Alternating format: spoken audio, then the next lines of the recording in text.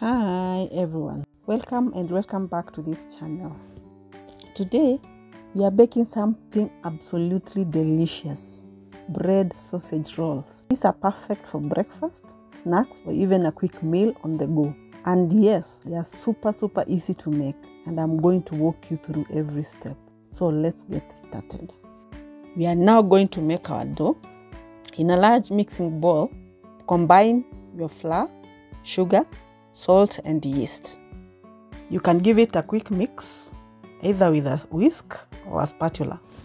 Next, add in your warm milk or water and start mixing until it forms a soft dough.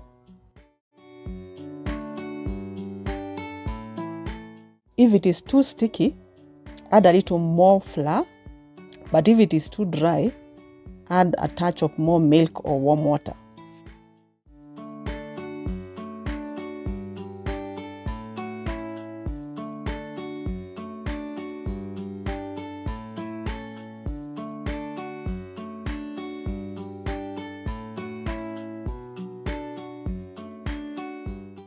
Add a quarter cup of margarine or butter.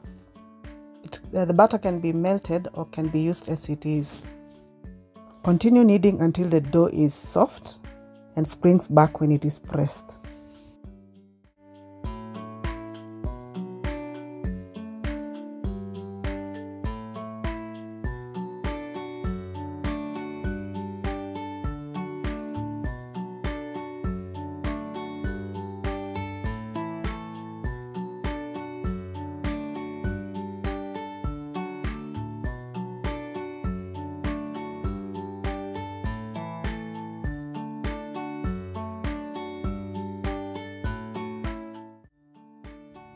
So once you are done kneading, grease the bowl with some oil, place the dough back in the bowl and cover it with either a cling film or a cloth or both. Then let it rise in a warm place for about an hour or until it doubles in size. It's been one hour and now our dough is doubled in size. Look at that. Time now to move to the next step. Once your dough has risen, punch it down to release the air and turn it out onto the surface. Then using a knife or a pizza cutter, cut the dough into four equal pieces.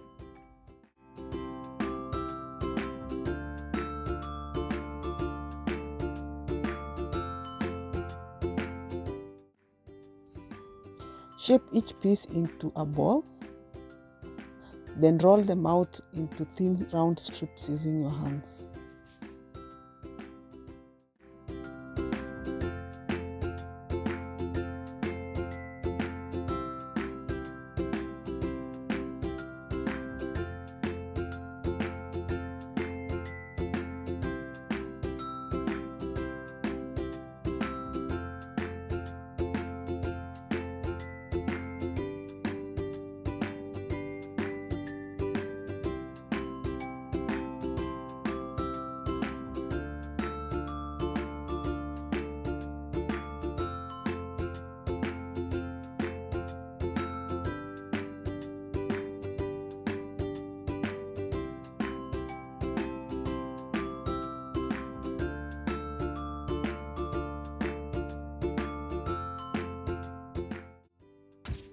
Now, take a sausage, a pre-cooked sausage, and wrap each strip of dough around it, starting from one end and spiraling to the other. Repeat this process until all the four sausages are done.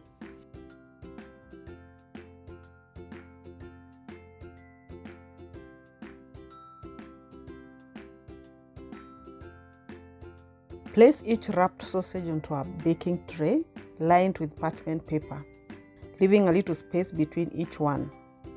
Cover them with a cloth and let them rise again for about 15 to 30 minutes. Now, bake these in the preheated oven for about 15 to 20 minutes or until they are golden brown and sound hollow when they are tapped. Wow, look at these beauties. They are golden, fluffy, and smell absolutely amazing. Let them cool for a few minutes before serving. Thank you for watching guys. I hope you give this recipe a try. If you do, let me know how it turns out in the comments below. Don't forget to like, subscribe, and hit that notification bell so you never miss a recipe. Happy baking!